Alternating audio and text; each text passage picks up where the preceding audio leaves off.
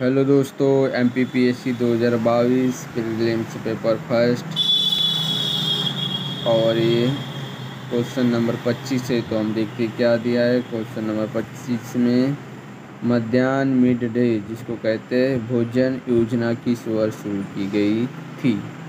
C option में दिया उन्नीस सौ इक्यानवे बी ऑप्शन में दिया उन्नीस सौ तिरानवे सी ऑप्शन में दिया उन्नीस सौ पंचानवे और बी ऑप्शन मिल गया है दो हज़ार।